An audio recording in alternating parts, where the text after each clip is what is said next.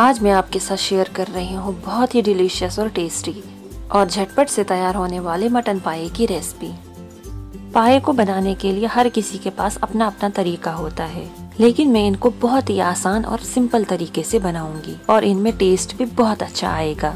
अब इस आसान सिंपल और मज़ेदार से रेसिपी को बनाना शुरू करते हैं। सबसे पहले मैंने यहाँ पर वन के जी मटन पाए लिए हैं। इनको मैंने अच्छी तरह से साफ़ करके धो लिया है।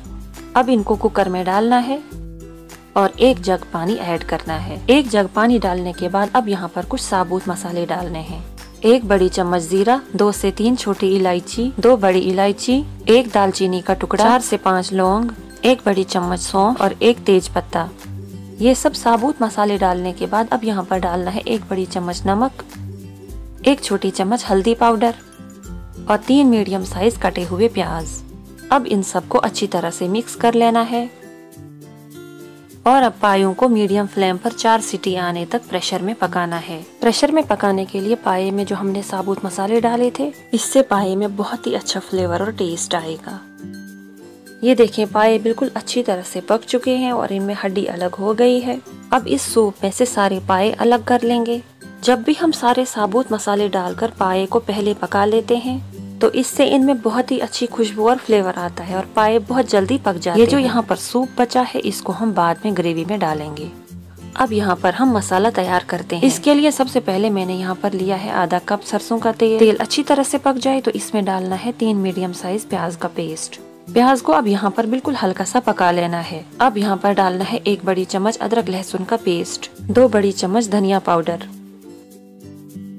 आधी छोटी चम्मच हल्दी पाउडर। आधी छोटी चम्मच लाल मिर्ची का पाउडर, एक बड़ी चम्मच कश्मीरी लाल मिर्ची पाउडर और आधी छोटी चम्मच गरम मसाला पाउडर।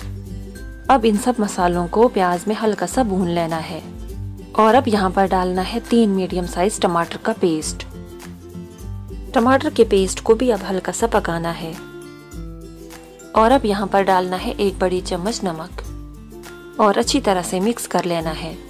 टमाटर के पेस्ट को अब तब तक पकाना है जब तक कि इसमें से तेल अलग ना हो जाए। टमाटर के पेस्ट से तेल अलग हो गया है। अब यहाँ पर डालने हैं पाए जिनको हमने पहले ही पका कर रखा था।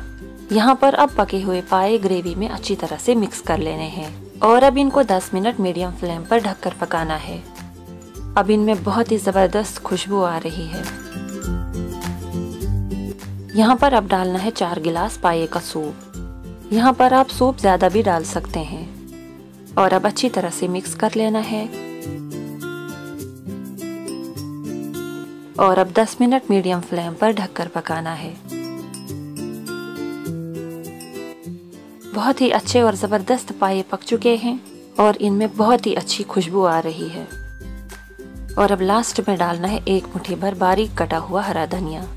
हरा धनिया डालने के बाद अब यहाँ पर इसको अच्छी तरह से मिक्स कर लेना है। ये देखिए बहुत ही सिंपल तरीके से तैयार होने वाली और बहुत ही ज़्यादा टेस्टी मटन पाए की रेसिपी तैयार हो गई है। अगर आपको ये मेरी वीडियो अच्छी लगे लाइक और शेयर करें।